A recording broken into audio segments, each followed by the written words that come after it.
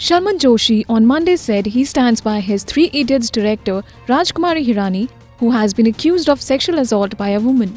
The actor has called the filmmaker a man of immense integrity, character, and honor. Sharman tweeted, Raju sir is a man of immense integrity, character, honor, compassion, and truthfulness. All the virtues one would imagine are non existent in people today.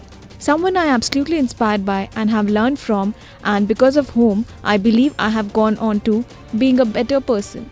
All I want to say, sir, is that these too shall pass. I can imagine how demeaning it might be to even stand up for yourself in a situation such as this. Sharman added with the I stand for Raju Hirani hashtag. According to a HuffPost India article on Sunday, the woman claimed that Hirani sexually abused her on more than one occasion over a six month period between March and September 2018. The 56 year old filmmaker has denied the allegation.